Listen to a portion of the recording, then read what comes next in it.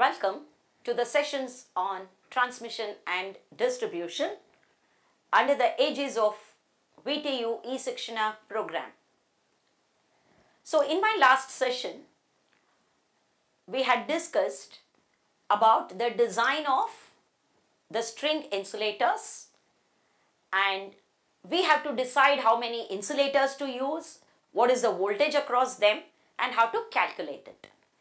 So in this session, we will see those aspects. So we will look at the potential distribution and the self-capacitance, mutual capacitance and string efficiency. So, from a manufacturing perspective, I told you, we use identical strings. So, if a disk is damaged, you can easily replace it with another disk. So, that's the idea of using identical disks. Now, is there some price we pay because of this? Let's just see that. So, let's define the capacitance C as the capacitance of each unit, each disk. Now, the voltage across each disk would be V by N where V is the total voltage across all the disks. But is this the case or is it something different? Let's just find out. Now each disk has a metal fitting and therefore there will be a capacitance between the metal fitting and the ground, grounded tower. So this capacitance is denoted by let us say C1.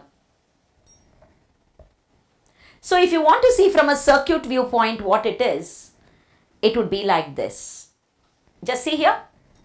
This would be, so I have discs, I have discs and I have metallic links, I have metallic links. So this is the grounded tower, the grounded tower and this is the conductor. So the conductor will pass through that, through the suspended, suspended insulator. So now you see what are the two parameters we discussed. So C is the capacitance of each unit. So I have C here, here, here. I am considering three units for simplicity. Okay. And what is C1? Between the first disc metallic point and the ground the grounded tower. And here again the capacitance between the second disk point and the grounded tower. So all these are also C1 because the disks are identical. The design is identical. So this is the circuit equivalent. This is the circuit equivalent, the network equivalent of this. So let us denote the voltages by V1, V2, V3 the voltage between each of the disks as V1, V2 and V3. Clear? Now this, the first disk is the one closest to the cross arm where it is connected to the tower and the last disk is closest to the conductor. I mean just for agreeing on some nomenclature, that's all. Okay, so let the voltage across the first disk, disk be V1, the middle disk V2 and the last disk V3. Clear? So now you have the circuit, circuit here. So let us define one more parameter M. This is the ratio of shunt capacitance to mutual capacitance C1 by C. So from this, this is a definition. It's not a derived quantity, it's a definition. I define a parameter M as this ratio. So from this, C1 is equal to C times M. C1 is equal to C times M. So due to this shunt capacitance, what happens? The current through the discs will be different and therefore the voltage across each of the discs will be different. Let us see how. Just see here. The voltage across this capacitor I1, this one, would be V1 divided by the capacitor reactance. Capacitor reactance is C omega, 1 by C omega. 1 by C omega is the capacitive reactance. So, the current through C would be V1 divided by 1 by C omega that is V1 into C omega. That would be the current through this capacitor. C. Okay.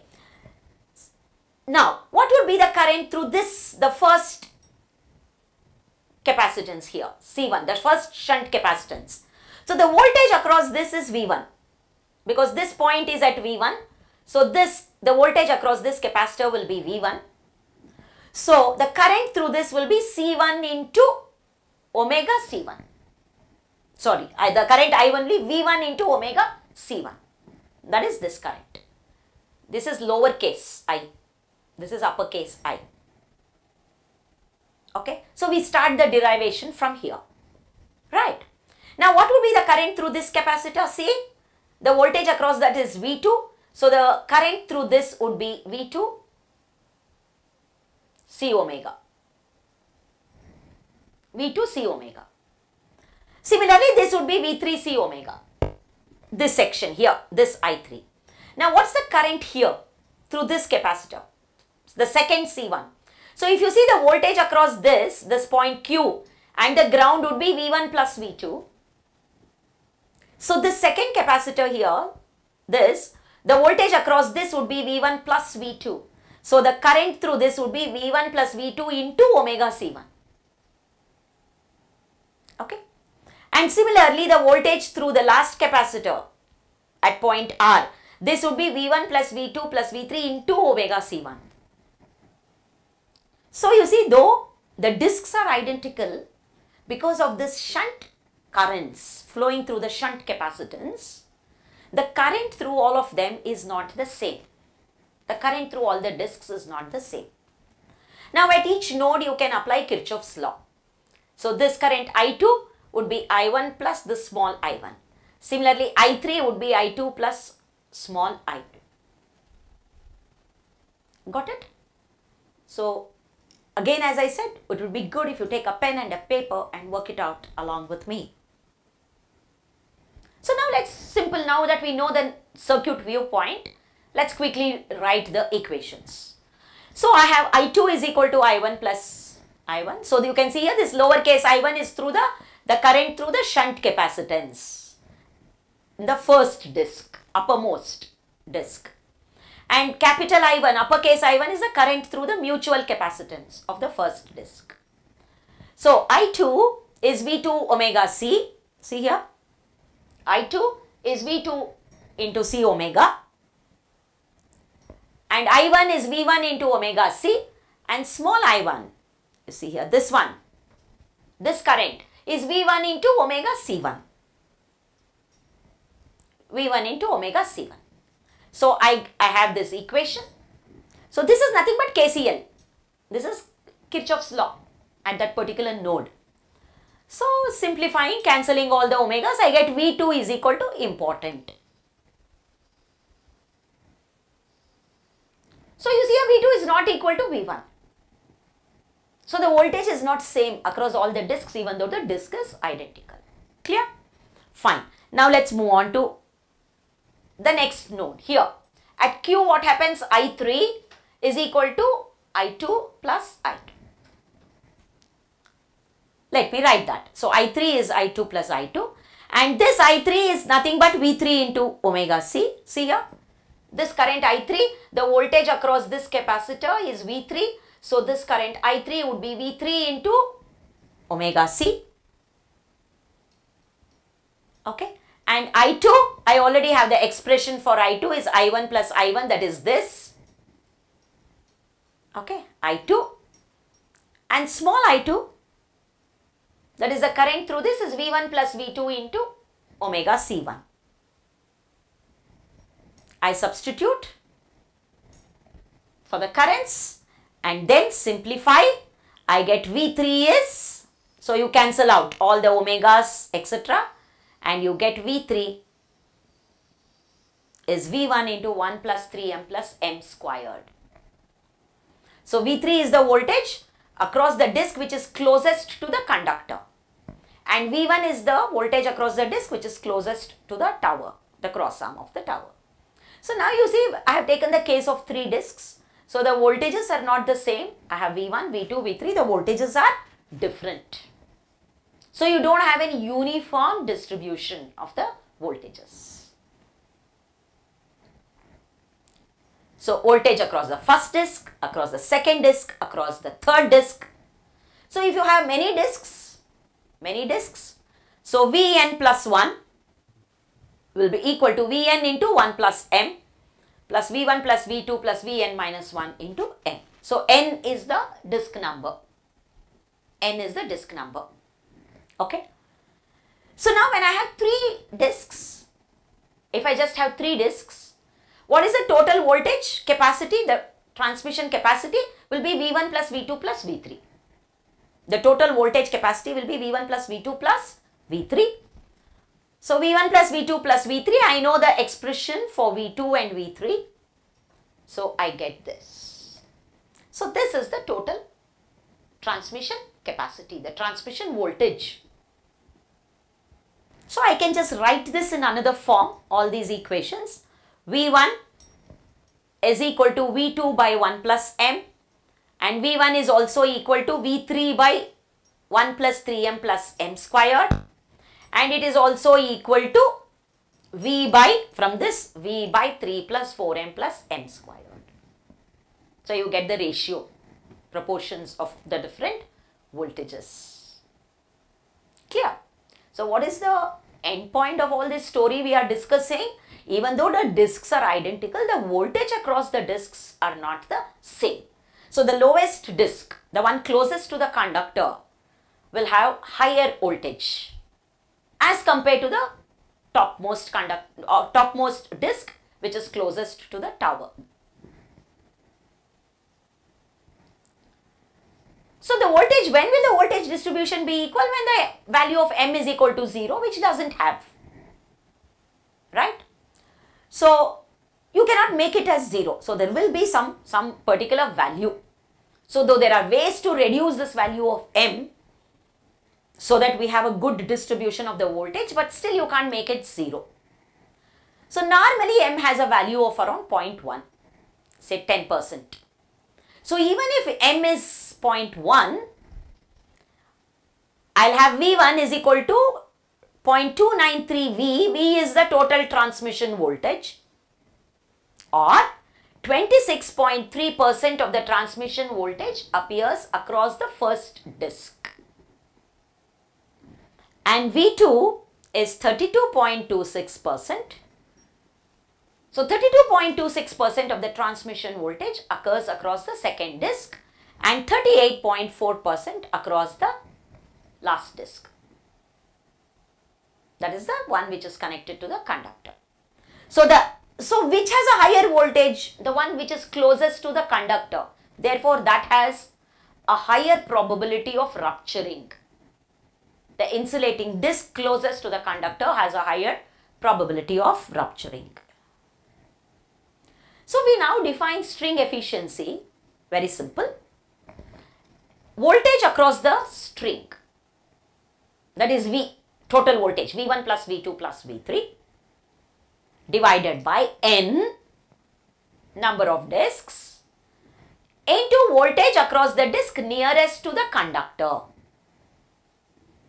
That is the disc which has maximum voltage across it. That will depend on what? That will depend on the value of M. So these are all for values of M is 0.1. They are not always, okay. Remember this 26.3, 32.26, 38.4 are the voltages for a value of M equal to 0.1. So it will depend on the value of M. So string efficiency when I do I have to take this voltage. The voltage of the disk closest to the conductor. So for a value of M equal to 0.9 it is 0.384 V. So you get 86.8% efficiency. So the string efficiency lower means more unequal the voltage distribution. If the voltage distribution is equal, efficiency would be 100%. Efficiency would be 100% because voltage across the string is V and all the disks would have V by N, so you will get 100%. So a low efficiency means that unequal distribution of the potential. So now let us take some simple examples. So a string has three units and each unit has a capacitance C and the pin to earth capacitance is C by 10 that means M is 0.1. So determine the values of voltage across each of the strings units and the string efficiency if line voltage is 33 kV. Please remember in a three phase system the voltage specified is always the line voltage but the strings are connected in each of the phases. So you have to take the phase to line phase to neutral voltage whenever you line to neutral voltage when you solve for the string voltages. Okay. Therefore, I know the formula for m equal to 0.1. So, V1, V2 is 1.1 V1 and V3 is this 1.31 V1.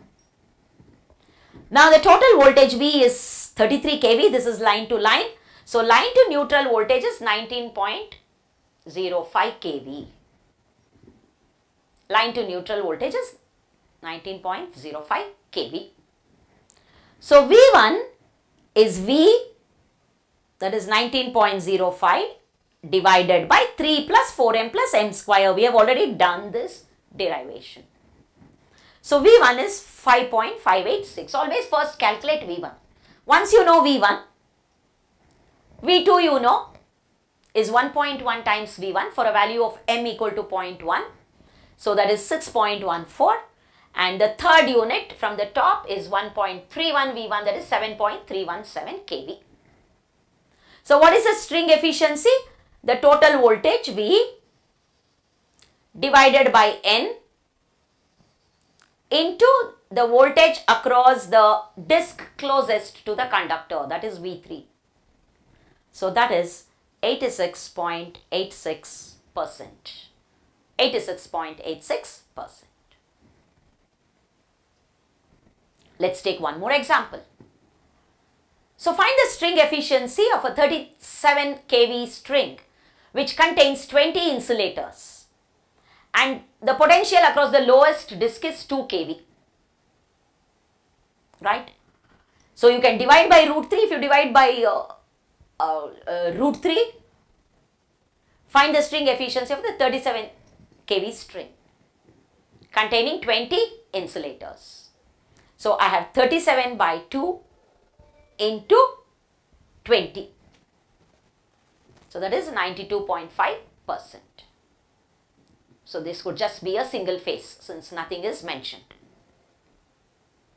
Now, an insulator string of 66 kV line has 4 discs.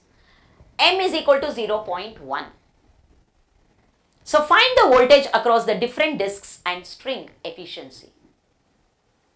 String efficiency. So you see here V2, I have 4 disks. V2 I already know, V3 I know, V4 I calculate from the formula, I get 1.651 V1.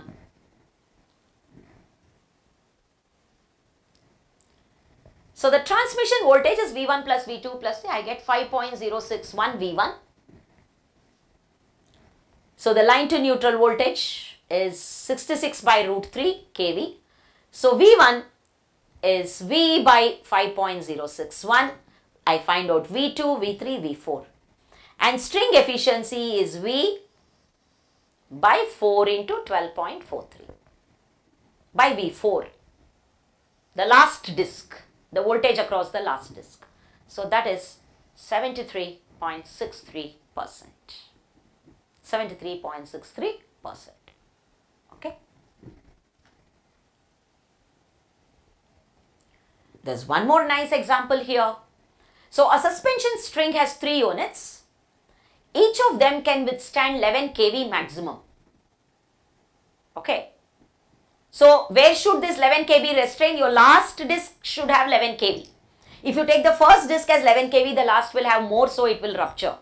So even whenever you want to design, you should assume that the last disk does not exceed 11 kV.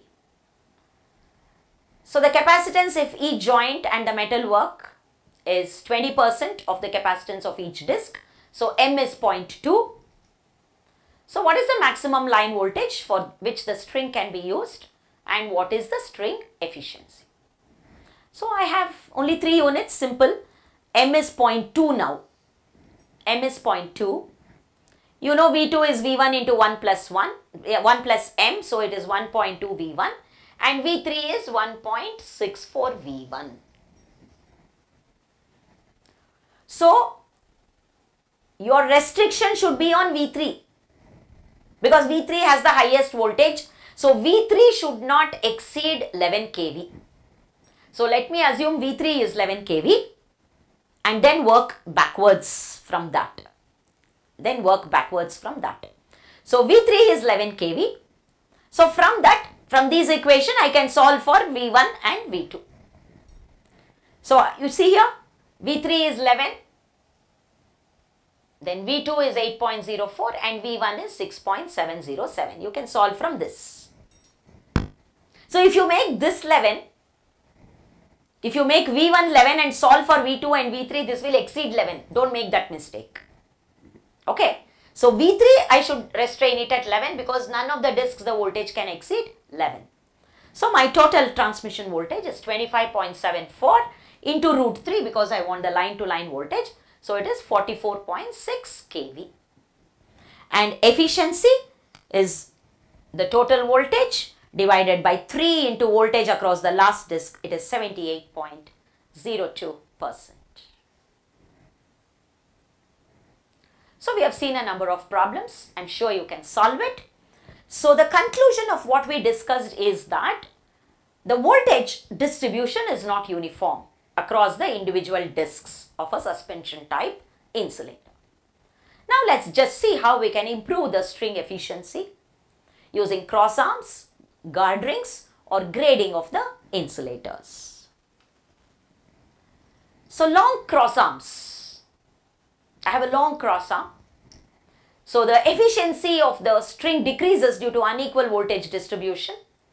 So greater the value of M, the percentage of the line voltage across the closest to the conductor will be higher. So to reduce the value of M, I have long cross arms. But then the length of the cross arm is limited by cost and strength of the supports. So you just can't have very long cross arms. Okay. So the best possible value of M you can have as I told you is 0.1. You can't have something lesser than that. Another way is what is called as capacitor grading of units. So here what we do is, here what we do is, I use discs of different values. I use discs of different values C1, C2, C3, C4, etc. So that the voltage across each will be the same. The voltage across each will be the same. You got the point? So in the first case, I had identical strings and because of the capacitance, the voltage distribution was non-uniform. So now what I try to do, I try to have un unidentical, non-identical discs so that the voltage across them will be the same. This is not actually a very good practice because non-identical discs if you have, you have manufacturing issues and you can't easily replace one disc with another since they are not identical. Anyway, so let's see with the capacitance of the topmost unit and the shunt capacitance is MV. So I'm going to work backwards. I'm going to assume that the voltage across all of them is V. So across the first disc, the current I1 will be V omega C and the current through the disc will be MV omega C and I2 will be I1 plus. So these node equations do not change. They're all the same. Okay. I'll get V omega C into 1 plus 1. So across the second unit also I have the voltage V. It is I2 by omega C2. So I have C2 is C into 1 plus M. Similarly, across the third unit, I have I2 is equal to 2V omega C because the voltage, total voltage across that will be 2 times. And I get the equation for the third capacitor. The equations are all very simple. They are all identical to what you wrote in the previous case. Only thing is here I am assuming the voltage to be equal. There we thought the capacitances to be equal. but the capacitance to the from the pin to the tower, grounded tower, that was considered to be different. So if I want to equalize all the voltage across the units, the capacitances should be in the ratio of 1 is to 1 plus m is to 1 plus 3m and so on. Are you understanding what I am trying to say? So if you want equal voltage across the discs, then the capacitances should be different. So you have to design the discs so that the capacitance between the first, second and third unit is 1, 1 plus 1, 1 plus m, 1 plus 3m and so on. Whereas in the, in the first case they were all same, C, C, C. So this is not a very good option because the units are all different and so they are not interchangeable. This is called as grading of capacitors. Grading of capacitors. The third option available is the use of guard rings. A guard ring is a grading ring is a metal ring which is electrically connected to the conductor surrounding the bottom ring of the string insulator. So you have a ring, conducting ring around the bottom ring.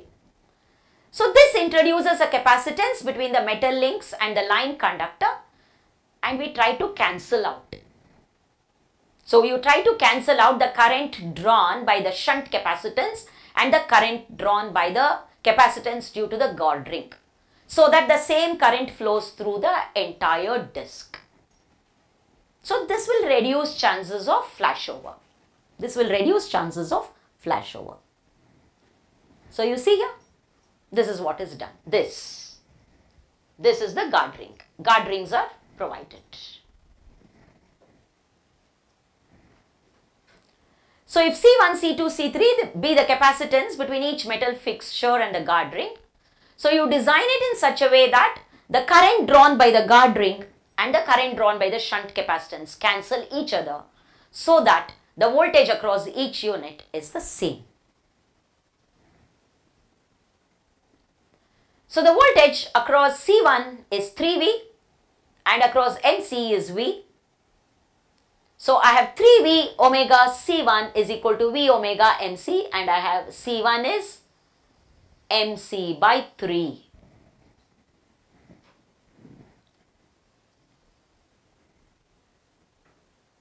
Okay.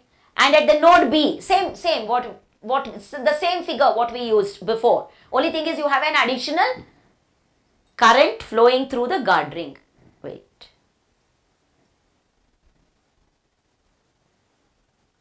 Yeah, you see here what we are doing? So this is your mutual capacitance or self capacitance. I am using identical so they are all C and this is your shunt capacitance and this one C1, C2, C3 is the capacitance because of the guard ring. Okay, so I try to see that this current I1 star and I1 both cancel out each other. That's the whole idea of providing the guard ring. So what happens? Whatever current is because of this capacitance will come out here. So these cut the current through all this will be the same. So that's what we are doing in the derivation.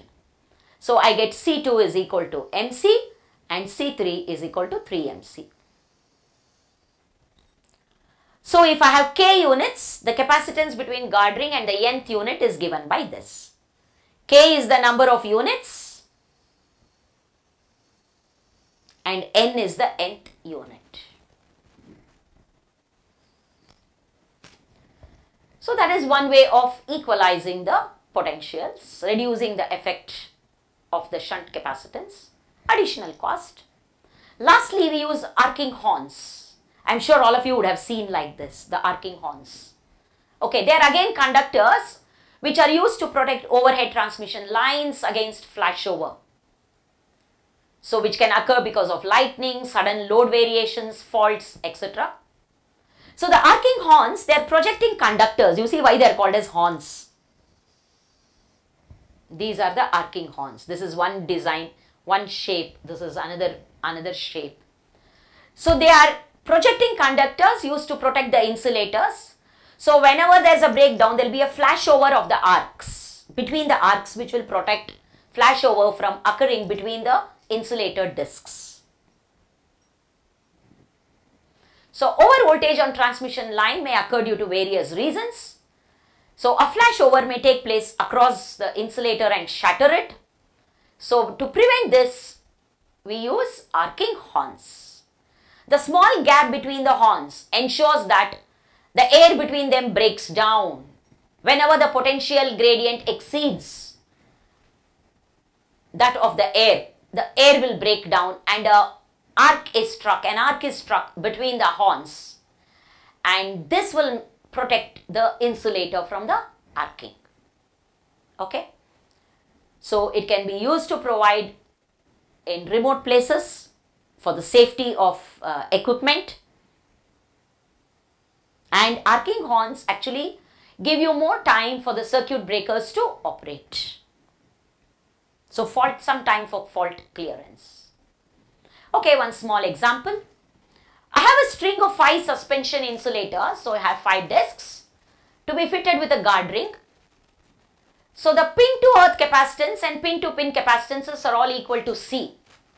Find the values of the line to pin capacitance to have a uniform distribution over the string. So the formula is very simple. Cn is NMC by K minus 1. K is equal to number of units which is 5 and N is the unit number. So 1, 2, 3, 4. Okay. M is given to be 1 because all the capacitances are C. So the ratio will be 1. So just substitute. Here if N is 1, if you substitute, M is anyway 1 so you can remove it. So I have C by 4, 2C by 3, C3, C4.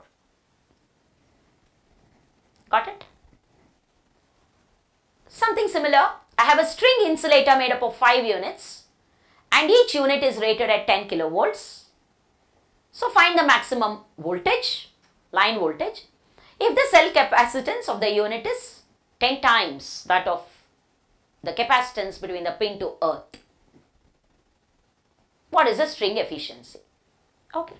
So only thing is now I have 5 units. I have the formula m is 0.1 10 times. So it is 0.1. So V2, V3 we know, V4 also we have found out. You can find out V5 also using the formula. Okay. Now what is the maximum voltage is 10 kilovolts. So where will you assume 10 kilovolts? Don't make the mistake of assuming V1 to be 10. If you assume V1 to be 10, this will be 11 and it will go on progressively increasing. So V5 will be 21.5. Right? Don't make that assumption. It is not V1. The maximum capacity is 10 kV means the maximum voltage is here. So you should equate V5 to 10 because V5 is the largest. So that cannot exceed 10. So start backwards. So V5 is 10. From that you can get the value of V1. 10 by 2.15. That is 4.65. Once you have V1, you can find V2, V3, V4.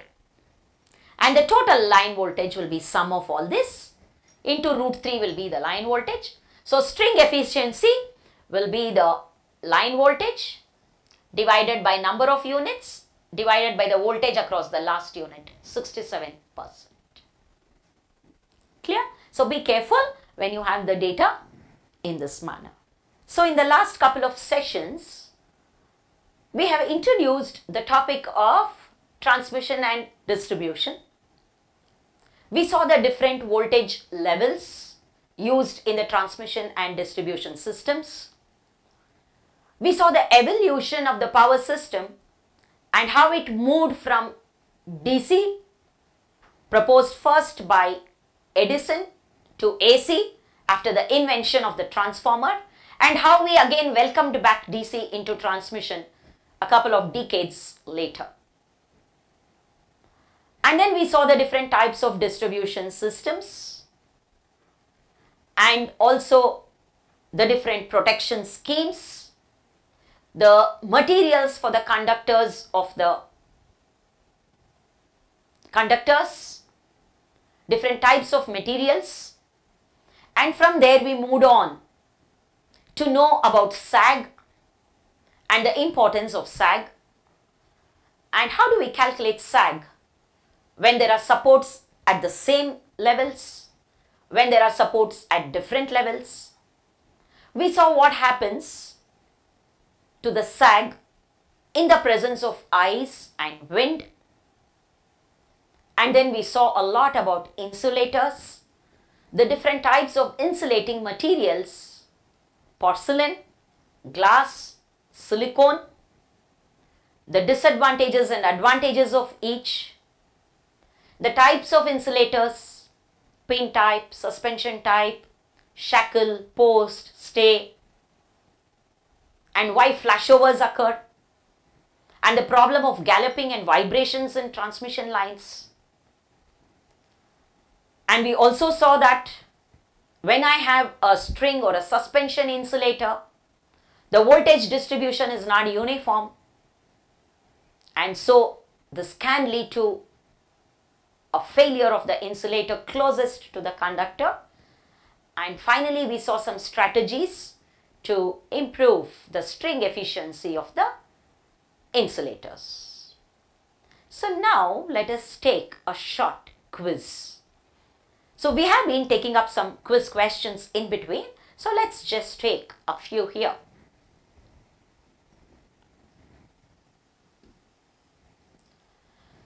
So, this is a recap of what you have learnt.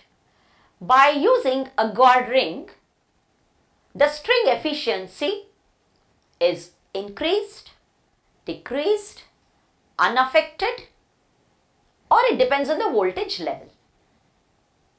So what are we doing? Why are we using the guard ring in the first place? Try to recollect. I am doing it to improve the string efficiency. Therefore, the answer would be increased. The string efficiency is increased.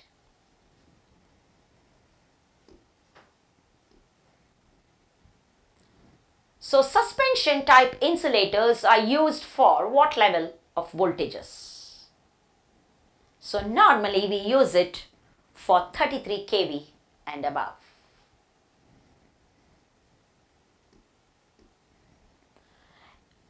Insulators used in dead or sharp ends. I told you whenever there's a dead end or when there is a sharp turning like a river crossing.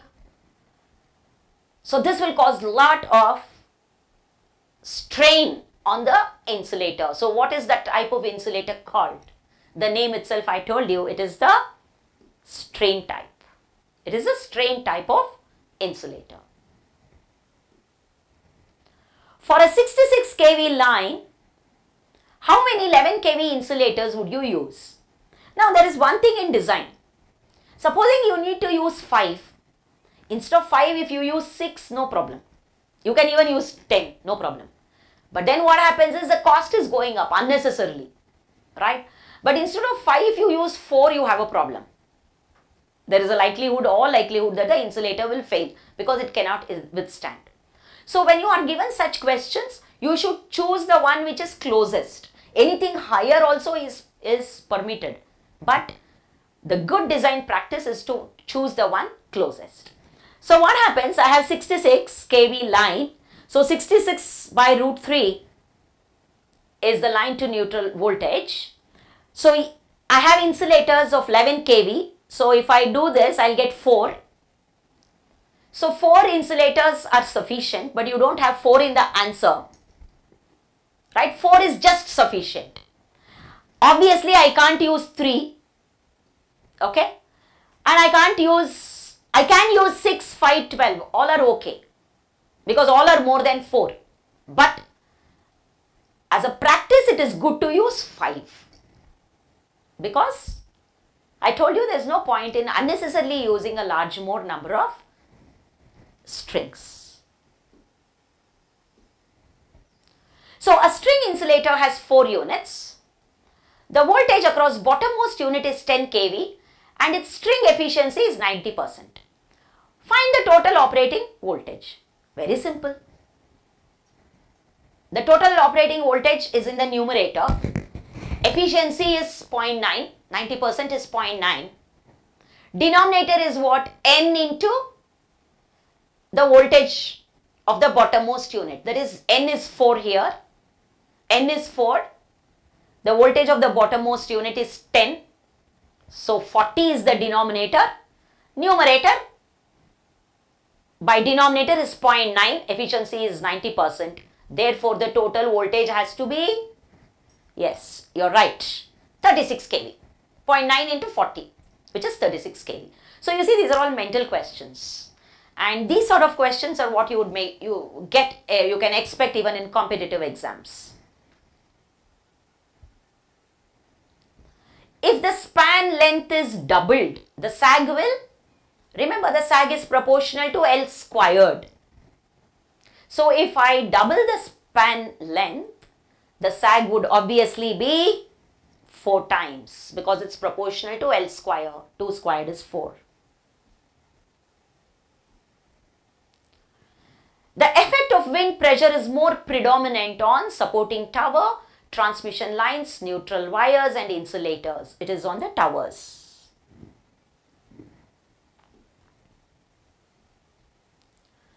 So the sag of the conductor of a transmission line is 2.5 meters when the sag length is 250 meters.